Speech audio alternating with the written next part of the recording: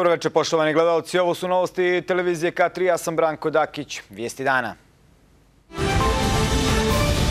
Novo poskupljenje goriva od 7 treninga, novi udar na džepove građana. Cvijanovićeva nezadovoljna radom Savjeta ministara. Vučić i Govedarica u Beogradu razgovarali o situaciji u BiH, ali i saradnji Republike Srpske i Srbije. Sirici u Damasku slave. Sutra na oblačenje sa kišom i pljuskovima. Gorivo i gas na pojedinim benzinskim stanicama u Republici Srpskoj poskupili su za 7 feninga po litru, a i ostale će uskoro krenuti tim putem. Iz grupacije za promet nafte i naftnih derivata u Privrednoj komori Republike Srpske pojašnjavaju da su nove cijene rezultat poskupljenja barela sirove nafte na svjetskom tržištu. Saša Čejić iz pomenute grupacije potvrdio je da je došlo do skoka cijena sirovog barela nafte na svjetskoj berzi sa 67 na 72 dolara. Na svjetskoj berzi sirova nafta je poskupila zbog čega će litar benzina ili dizela iznositi oko 2.15-2.16.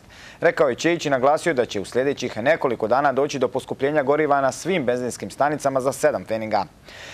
Rafinerije u okruženju su prema njegovim riječima digle cijenu benzina i dizela za 7 feninga, uzrok poskupljenja je cijena na svjetskom tržištu. Ko nije imao zalihe goriva, već je digao cijene jer je gorivo poskupilo po, jer je gorivo kupio po novoj cijeni.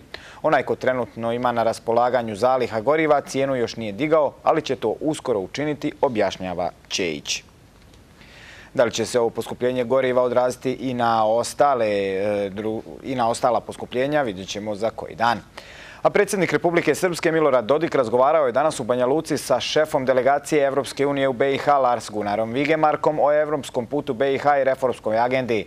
Dodik je upoznao Vigemarka o tome da Republika Srpska podržava put evropskih integracija te želi da saradnja Srpske sa Evropom ide kroz mehanizam koordinacije saopšteno iz kabineta predsjednika Srpske.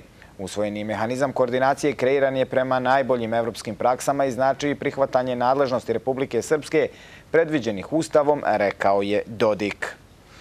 A sa Vigemarkom je danas razgovarao i predsjednik Narodne skupštine Dedeljko Čubrilović. Istakao je da je Narodna skupština Republike Srpske opredjeljena za ispunjavanje obaveza na putu evropskih integracija i da postupa u skladu sa Ustavom i pozitivnim zakonskim propisima. Čubrilović i ambasador Vigemark saglasili su se da je važno da budu opšti izbori sprovedeni u skladu sa zakonom i osnovnim demokratskim principima i da organi budu formirani u skladu sa izraženom voljom građana. Predsjednik vlade Republike Srpske Željka Cvijanović izjavila je da nije zadovoljna radom Savjeta ministara Bosne i Hercegovine, posebno zbog loše međusobno komunikacije, okrivljujući zato srpske predstavnike koji tamo rade. Ona je naglasila da se mora poštovati mehanizam koordinacije i da se najvažnije odluke na nivou BiH donose i u dogovoru sa vladom Republike Srpske. Cvijanovićeva je danas imala sastanak u Banja Luci sa šefom delegacije Evropske unije u BiH sa kojim je razgovarala o donošenju strategije u BiH, posebno u energetskom sektoru. Šef delegacije Evropske unije u Bosni i Hercegovini boravio je danas u Banja Luci gdje je razgovarao sa najvažnijim zvaničnicima. Izjeve za novinare nije davao, ali je predsjednik vlade Željka Cvijanović navela da je na sastanku s njim razgovarala prevashodno o završetku određenih strategija u BiH kako bi mogli da se donesu, kako istaknuto, okvirni dokumenti koji će se koristiti za komunikaciju sa Evropskom unijom. Dakle, bavili smo se energetskom strategijom za koju sam ja obavijestila gospodina Vigemarka da, inače, što se tiče vlade Republike Srpske, da smo mi inoviranu strategiju usvojili, da će nakon toga biti usvajanje u parlamentu.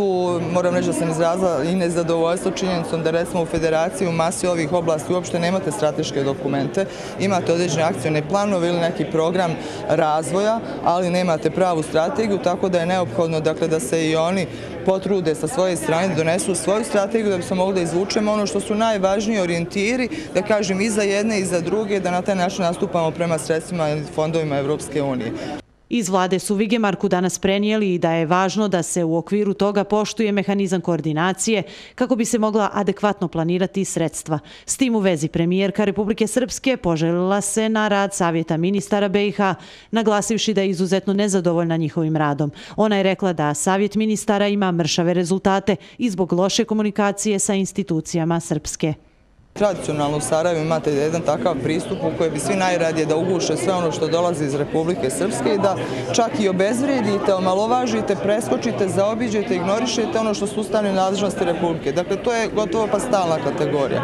U okviru toga nezadovoljna sam posebno onim ljudima koji su iz Republike Srpske, a sjede u raznim institucijama, uključujući savjet ministara na nivou BH, koji zapravo su ugušili komunikaciju sa institucijama Republike Srpske i nisu nikada shvatili važnost toga da mi zajednički donosimo određena rješenja ili zauzimamo stanovove bez obzira što pripadamo različitim političkim garniturama. Cvijanovićeva je odgovarajući na novinarsko pitanje kada će Republika Srpska dobiti socijalnu kartu istakla da nam je ona potrebna, ali da je za to potrebno i mnogo novca i vremena, što znači da to nije moguće očekivati da se uskoro uradi. Zašto do sada nije urađen? Dakle, mi u određenim segmentima imamo socijalnu kartu za pojedine kategorije, ali ono što je važno jeste da se napravi jedna sveopšta, sveobuhvatna socijalna karta, a to znači da se uključi kompletno stanovništvo ili sve grupacije društva. E sad, kad to kaže, morate da razumijete da je to u pitanju zaista i jedan prilično skup, ali i obiman posao i mislim da ćemo ipak na kraju raditi, da ćemo spajati segment po segment da bismo dobili dakle, sliku onih koji spadaju u najugroženiji. Kad to kažem, interesuje nas od penzionera, boračke populacije i svih drugih dakle, ranjivih kategorija prevashodno, ali isto tako i na kraju da onda kroz par godina dobijemo i tu kompletnu sliku. U vladi Srpski očekuju da će uprava za indirektno oporezivanje BiH uskoro da im vrati 28 miliona maraka na osnovu odluke iz 2016. godine i da će taj novac dobiti prije rebalansa budžeta. Europska komisija sutra će objaviti paket proširenja u kome se ocjenjuje stanje u zemljama koje nastoje da se pridruže Uniji. Nakon toga, visoka predstavnica za spoljnu politiku i sigurnost Frederika Mogherini krenuće na balkansku turneju. Kako je navedeno, posjetit će zemlje regiona. Ne i ovaj put izostaje posjeta Bosni i Hercegovini. Svoje vrstnu evropsku poruku Denis Vizdić evidentno nije shvatio. Prema navodima Evropske komisije, Bosna i Hercegovina je bila veoma spora u protekloj godini u postizanju rezultata u prioritetima koji proizilaze iz reformskog procesa. U izveštaju čiji su dijelovi dospjeli u javnost, navodi se da naša zemlja mora ubrzati reforme koje su orijentisane ka Evropskoj uniji kako bi se riješili i duboko ukorijenjeni strukturalni problemi koji su bili prepreka za napredak zemlji. Kritički i pesimističan stav Evrope, preoptimistični zvizić, evidentno nije shvatio. Uvijek je razlika naravno tome da neko misli da je čaša do pola puna ili do pola prazna. Ja mislim da će u tom izvještaju biti mnogo veći broj pozitivnih pokazatelja nego oni koji, na koji će možda svjetlo nekih htjeti da e, stave. U ovom trenutku, osim eventualno dopunskih pitanja koja ćemo dobiti, mi nemamo drugih uvjeta, dakle nalazimo se e, pred kandidatskim statusom. Visoka predstavnica za vanjsku politiku i sigurnost Federica Mogherini sutra će krenuti u posjetu državama Balkana. Kako je ranije objavljeno, neće obići Bosnu i Hercegovinu kao ni Kosovo, a u Tiranu i Skopje doći će sa porukom da je Evropska komisija preporučila početak pregovora o pristupanju sa Albanijom i Makedonijom. A koliko znam, uvažena gospođa Mogherini i komesar Han eh, dolaze na jednu digitalnu konferenciju u Skoplju kojoj ću i ja pristovati. Tamo ćemo imati organizovane e, susrete i sa komisarom Hanom i gospođom Mogherini. I nije riječ o e, posjeti samom regionu, nego o jednoj konferenciji koja je jedan, jedna od šest stubova koji su zatrstani u strategiji Europske unije do 2025. godine. Za razliku od Zvizića, ministri u savjetu ministara dosta svjesni problema u vlasti, jedan od njih je i neusvajanje energetske strategije. Energetska strategija je na čekanju, ona je plod zajedničkog rada tri resorna ministarstva i čeka na saglasnosti iz entiteta. Obezvijedili smo novac od strane Velike Britanije, 900.000 maraka, radili su se strategije paralelno za Federaciju i Republiku Srpsku i okvirna državna strategija i to je važan dokument, vjerujem da da neće biti uzalu potrošena ova sredstva. Mnogo toga je na čekanju, pa tako i sredstva na posebnom računu prikupljena od putarina rasu svaki dan, ali i da do sada nisu raspoređena, jer Upravni odbor Uprave za indirektno oporezivanje nije postigao dogovor o tome.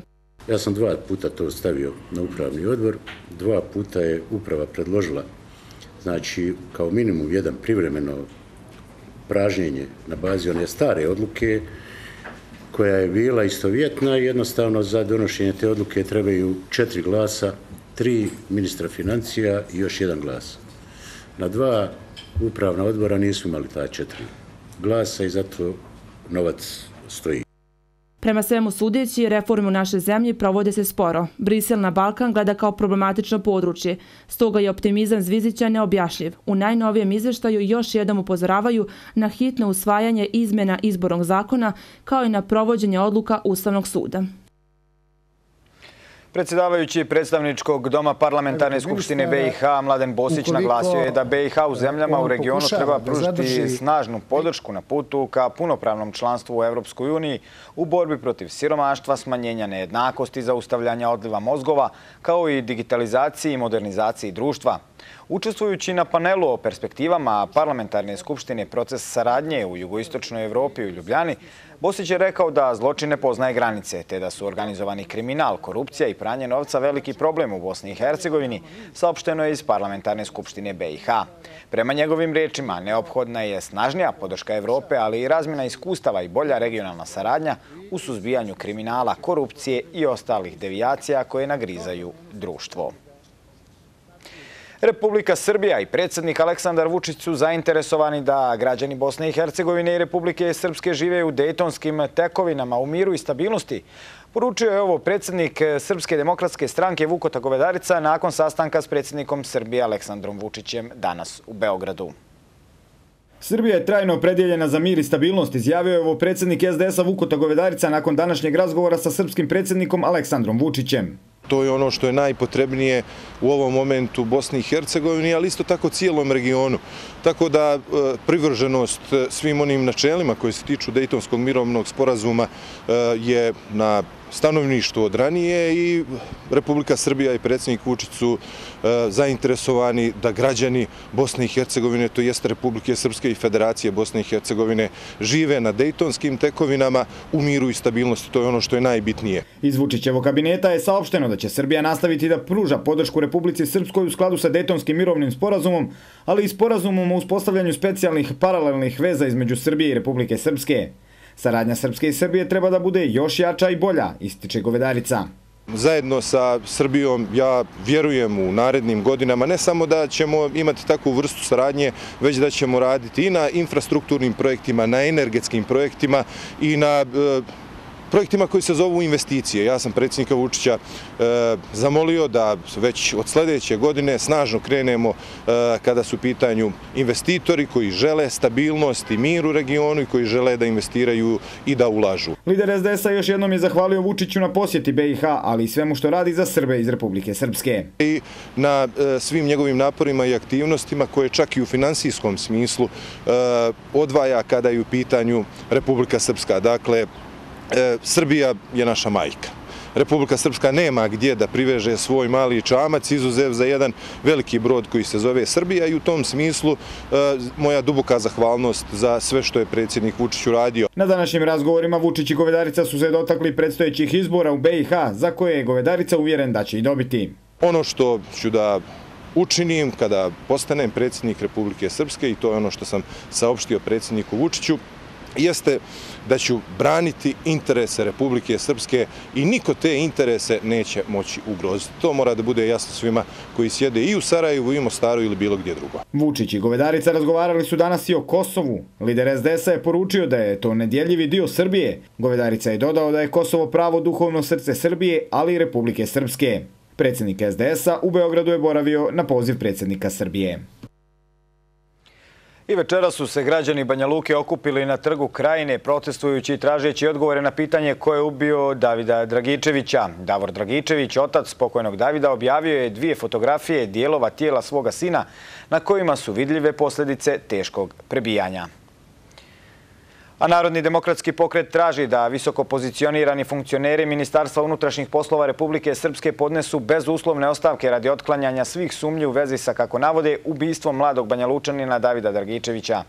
Narodni demokratski pokret zahtjeva i da budu objavljena imena onih koji pomažu u skrivanju ovog zločina. Takvim činom bi skinuli teret i odgovornost koju nosite, zaštitili dignitet i dostojanstvo svih časnih pripadnika MUPA saopšteno iz NDP-a.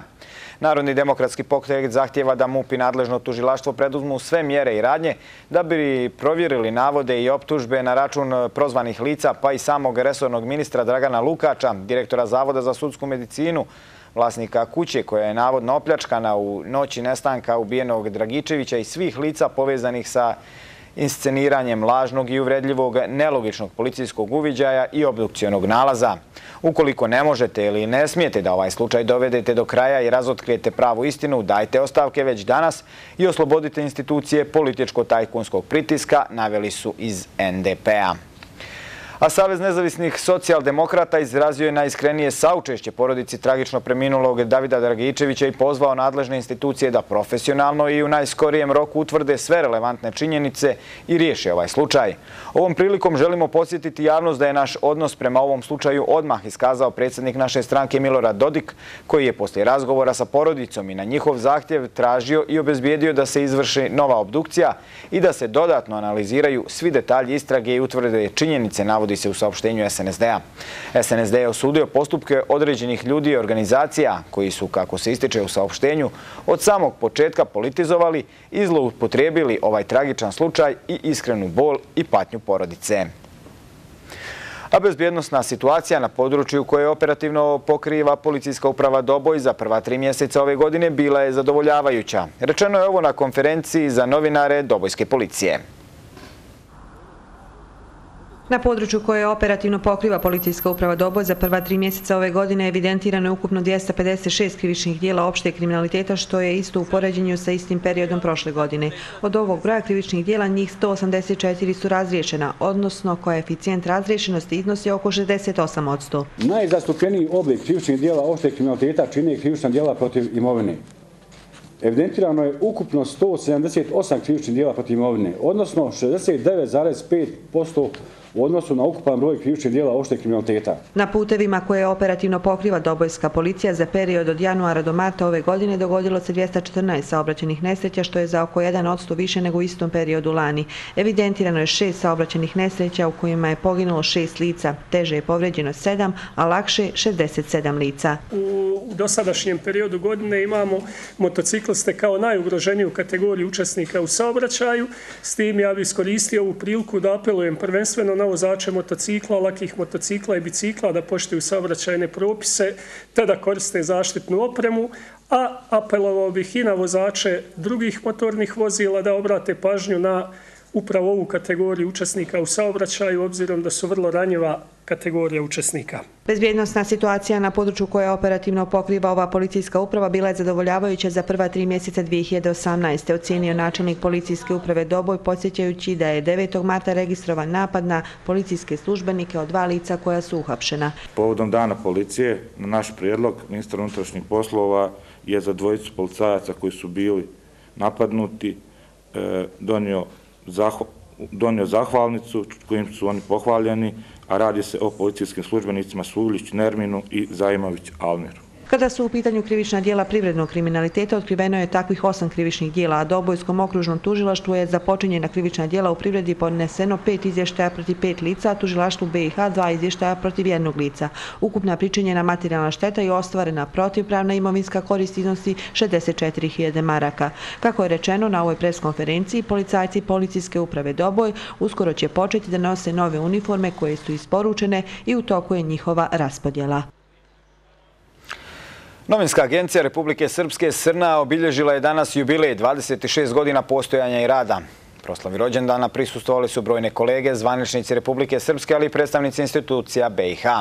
Predsjednik vlade Republike Srpske Željka Cvijanović najavila je povećanje izdvajanja novca za rad ove agencije, čime će zaposlenim od juna biti uvećane plate.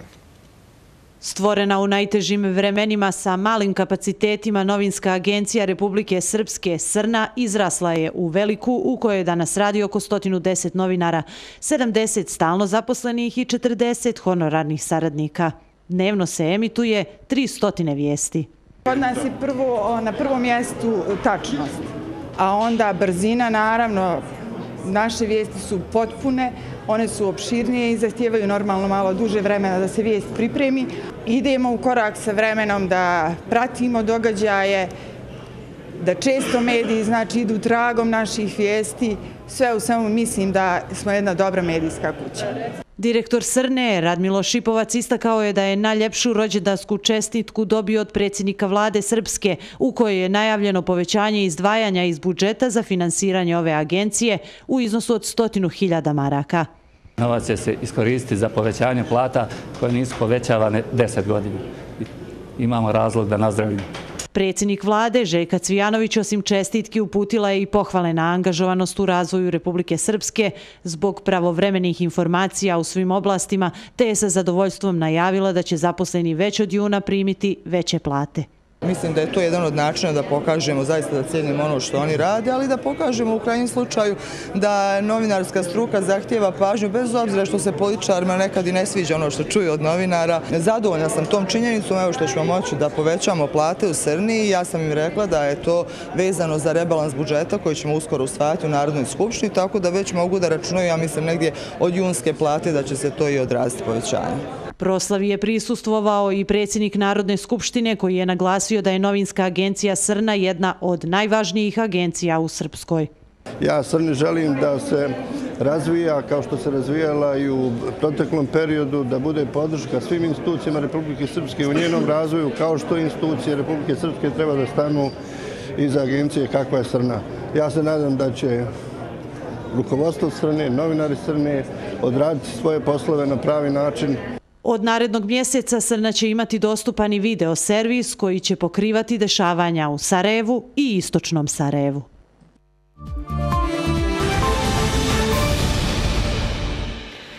Kandidati lidere vladajuće demokratske partije socijalista Milo Đukanović proglasio je pobjedu u prvom krugu predsjedničkih izbora u Crnoj Gori održanim juče. Ova je pobjeda evropske budućnosti Crne Gore, rekao je Đukanović, koji je obećao raditi tokom svog mandata na približavanju Crne Gore Evropskoj uniji.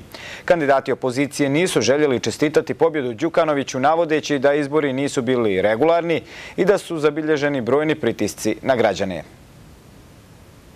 Lider Demokratske partije socijalista Milo Đukanović vratit će se na javnu funkciju poslije godinu i po pauze nakon što je izabran za predsjednika Crne Gori, osvojivši 54,1% glasova. U trci sedam kandidata osvojio je većinu glasova birača. Đukanović je ubjedljivo pobjedio u Ulcinju, Rožajama, Plavu, Gusinju, Petnici i Andrijevci. Preko 50% glasova dobio je u Podgorici, Bijelom polju, Baru, Tivtu, Cetinju, Danilovgradu, Nikšiću, Šavniku, Mojkovcu, Žabljaku i Pljevljima. Ovaj izborni rezultat prije svega razumijem kao potvrdu čvrste riješenosti Crne Gore da nastavi evropskim putem, da nastavi putem dostizanja evropskog kvaliteta života za sve naše građane, da nastavi putem koji će nas dovesti do punopravnog članstva u Evropskoj uniji. I pored male izlaznosti, opozicijani kandidati su imali više glasova u svim gradovima gdje opozicijane partije imaju vlast. Tako je opozicija imala više glasova u Herceg Novom, Kotoru, Budvi, Beranama, Kolašinu i Plužinama. Glavni protukandidat Mladen Bojanić, kandidat dijela opozicije, rekao je da neće čestitati Đukanoviću koji je prisvojio državu i sve njene institucije. Oni mogu da rade što im god volio, ja, mene ne interesuje ni da je pesni Đukanović, Ja im svakako čestitati neću pobjedu jer nemam šta da im čestitam. Ja da sam na mjestu Đukanovića, ja bi se stidio večeras, a ne, ne slavio. Na izborima je Crnogorcima bilo dano da biraju između sedam kandidata, među kojima se prvi put našla jedna žena, treće plasirana Draginja Vuksanović, kandidatkinja SDP-a. Prva žena kandidat na predsjedničkim izborima zahvalila se svim svojim glasačima. Rekla je da Đukanović ne zaslužuje njenu čestitku zbog načina na koji je vodio kampanju. Ne mogu biti zadovoljna ali ako uzmem u obzir rezultat koji sam postigla, ja bih lično mogla biti zadovoljna jer sam na ovim predsjedničkim izborima osvojila oko 60% više nego što je politička partija koja me predložila na posljednjim parlamentarnim izborima.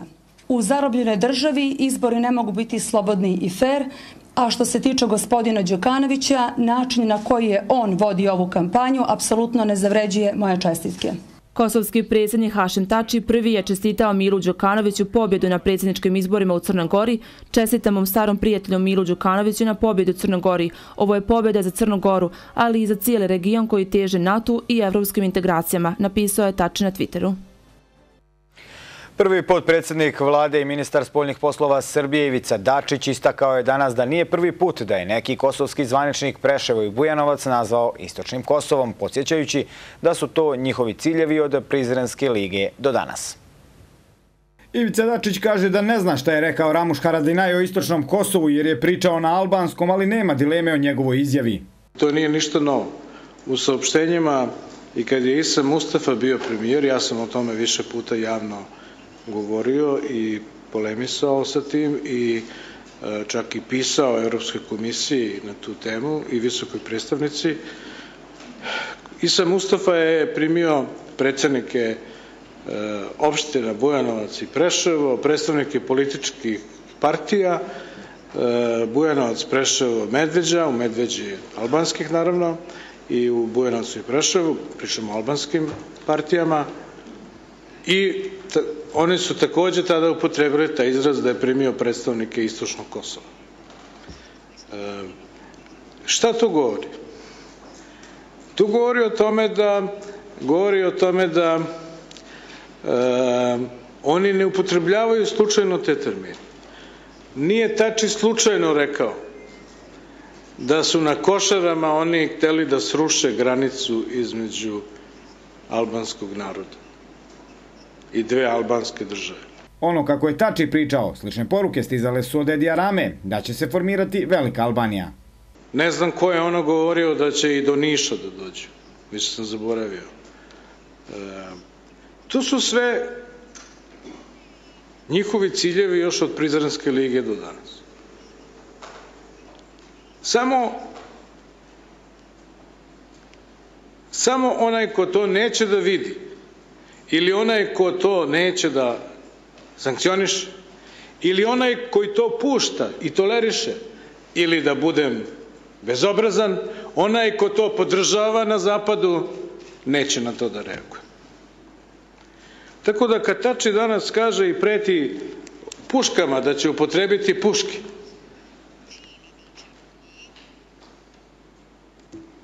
treba da svi mi znamo da ipak će morati da pita one čije su te puške. Srbija na to ne reaguje na takav način, da ne podgrijava atmosferu, već smiruje, poručuje srpski šef diplomatije. Kosovski premijer Ramuš Haradina izjavio je danas da će auto putem Priština Gnjilane Bijelo Brdo, koji je počeo danas da se gradi, biti povezana Anavarova sa, kako tvrdi, istočnim Kosovom, a prenosi RTS, pozivajući se na lokalne medije. Srbija još uvijek nije donijela ni odluku ko će učestvovati na samitu o Balkanu. Šef srpske diplomatije podsjetio je da Srbija nikada ne učestvuje na skupovima na kojima je Kosovo, a gdje se govori o državama, već samo gdje se koristi formulacija učesnici u procesima o Zapadnom Balkanu.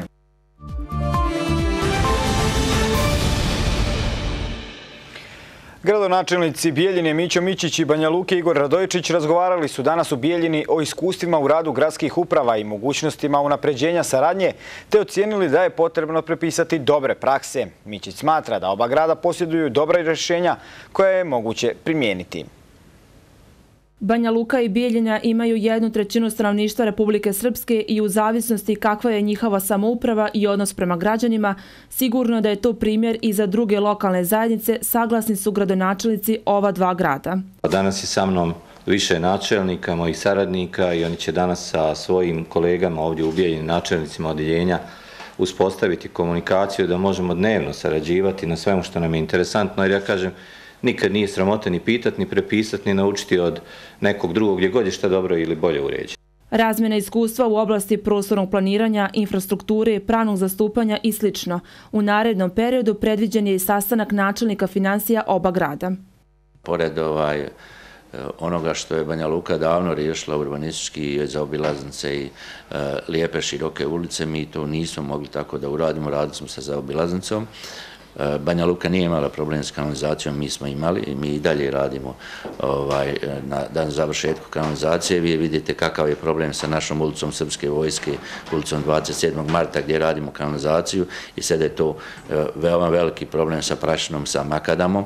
Mi kad smo sad, evo petak i subotu smo radili na, na tome da nađemo rešenje za asfaltiranje, ispada da nam treba 750.000 eura da asfaltiramo sve te ulice. Mi to moramo naći, mi ćemo to uraditi narednih dana i to je najkapitalniji projekat koji, koji ima. Banja Luka intenzivno radi na strategiji razvoja, novom urbanističkom planu te planu kapitalnih investicija u ovoj godini. Kojih ove godine nekako najviše u saobraćaju. Ako kažem da radimo jednu sportsku dvoranu, jedan potpuno novi most na Vrbasu, šest kružnih raskrsnica, sufinansiramo nekih otprilike 12 osnovnih škola, tri srednje škole u rekonstrukciji, više vodovoda, jedan kapitalan crno vrelo i nekoliko lokalnih i tako dalje i tako dalje. Mislim da ćemo ove godine imati oko 30 miliona maraka za investicije, za konkretne projekte. Prilika za razgovor u Bijeljini je i javno-privatno partnerstvo. Zakoni su dosta komplikovani i spori i to treba mijenjati, jer kroz taj model se mogu rešavati neka značajna pitanja u lokalnim zajednicama, naglasio je Radojičić. Rukovodstva Banja Luke i Bijeljine su opredeljena za decentralizaciju sa ciljem jačanja lokalne zajednice. A kolegijom Skupštine opštine Derventa održao je danas 16. sjednicu na kojoj su jednoglasno usvojili da će naredno zasjedanje Skupštine opštine biti održano 26. aprila. Pred odbornicima lokalnog parlamenta jedna značajna tačka biće odluka o rebalansu budžeta za 2018. godinu te odluka o dogradnji tačnije proširenju kapaciteta javnog preduzeća TROL. Na sjednici kolegijuma Skupštine opštine Derventa usvojene su teme za narednu redovnu 18. sjednicu Skupštine opštine Derventa, gdje će odbornici raspravljati o 24 tačke dnevnog reda. Usvojene su teme za 18. sjednicu Skupštine opštine Derventa. Imaćemo 20 tema od načelnika, predlagača i dvije teme koji, nas drugi koji možemo predložiti. Tema ukupno 22, u stvari 24 s aktualnim satom i usvajanje zapisnika sa prethodne sjednice. Pred članovima lokalnog parlamenta biće prijedlog odluke o izgradnji gradskog parka 9. januar, odluka o izgradnji pomoćnog terena stadiona Tekstilac, kao i odluka o proširenju kapaciteta javno-predškolske ustanove Troll Derventa. Odbornici će ispred sebe imati izvještaj o izvršenju budžeta za 2017. godinu. Možda bi jedno, dvije teme izdvojio. Rebalans budžeta za opštine Derventa za 2018. godinu, izvještaj rada načelnika u 2017. godine.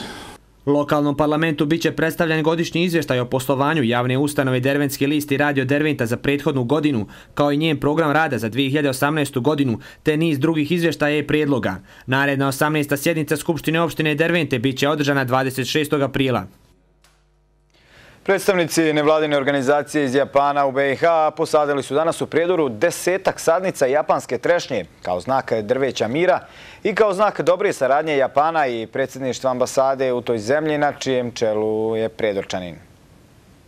Gradonačelnik Prijedora Milenko Đaković je rekao da su stabla posađene povodom obilježavanja Dana grada 16. maja, a u okviru proljećnog uređenja Prijedora. Mi smo prošle godine e, imali jedan dogovor sa predstavnicima Japanske ambasade, e, odnosno Bosansko-Hercegovačke ambasade u Japanu sa našim ambasadorom gospodinom Marićem, na osnovu čega je došlo do sporazuma da Japan pokloni gradu Prijedoru određen broj stabala japanske trešnje, kako oni nazivaju sekura ili država ili e, drvo mira. I mi smo danas ovdje u realizaciji tog projekta.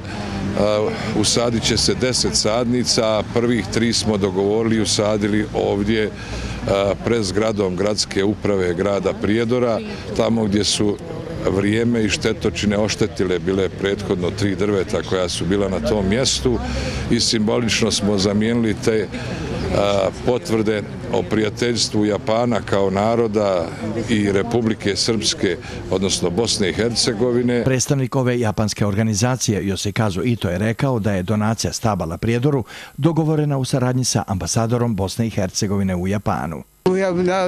A onda smo i u nekoliko gradova zapravo dobili zahtjeve za donacijama ovakve vrste, a evo ova današnja aktivnost danas je zapravo, možemo, možemo da je zahvalimo zahtjevu koje je, ispos, koji je, kojeg je isposlovao ambasador Bosne i Hercegovine ovaj, u Japanu, a koji je baš i onda, eto, zamolili su nas i mi smo danas donijeli te sadnice, eto, kuriozitet je da je, znači, ambasador BiH u Japanu nekad bio i načelnik, tadašnji na, na, načelnik opštine. I na osnovu prošlogodišnjih razgovora koje smo imali sa gospodinom gradonačelnikom, evo, mi smo danas ovde povodom toga da zasadimo 10 komada, 10 sadnica.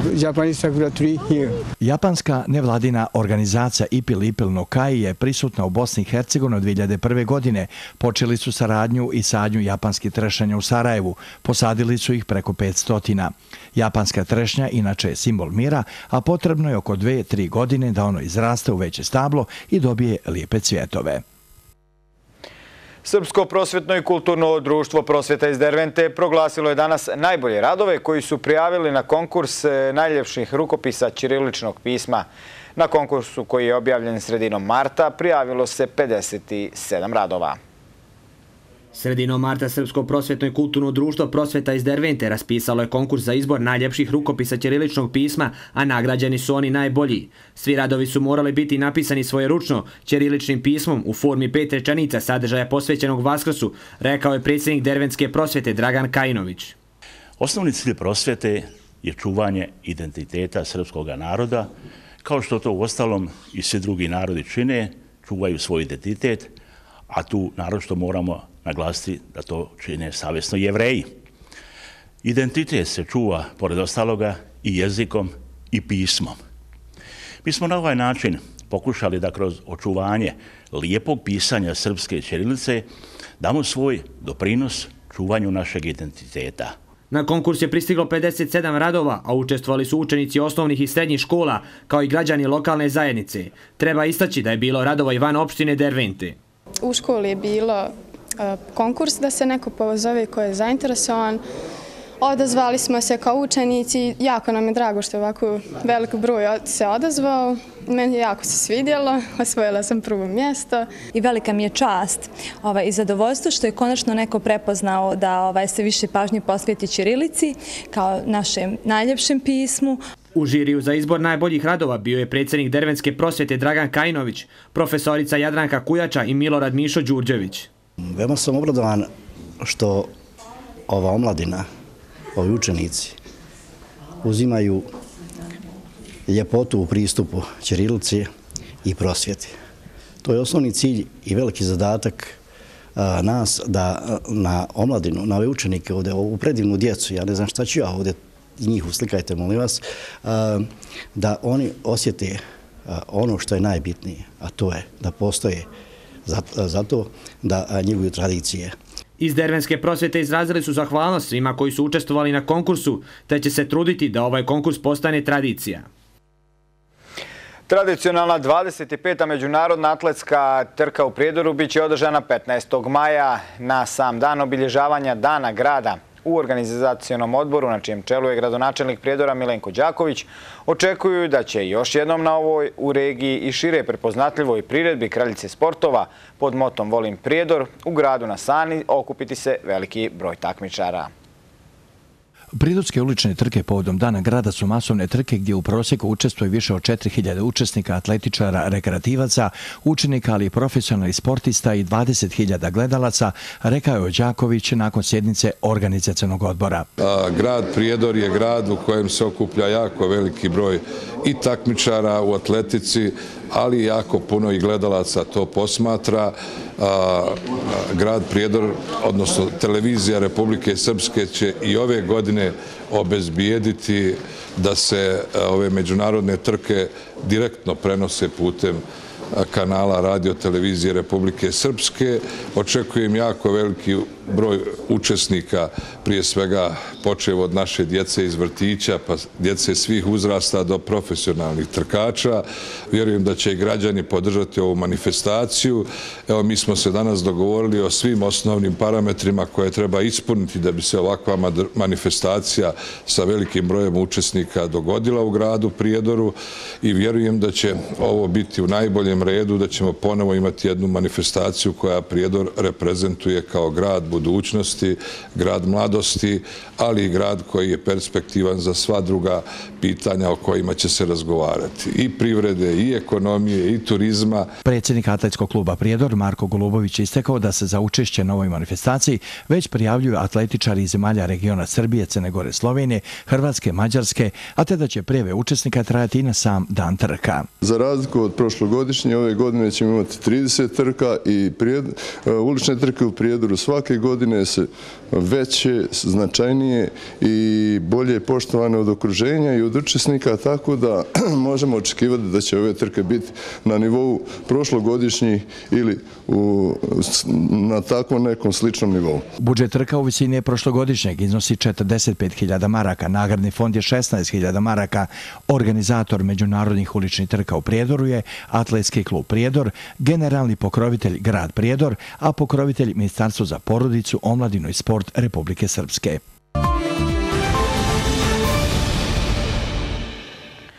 U Republici Srpskoj danas je bilo promjenjivo do pretežno oblačno i malo manje toplo, povremeno sa mjestimično kraćim intervalima kiše i pljuskova.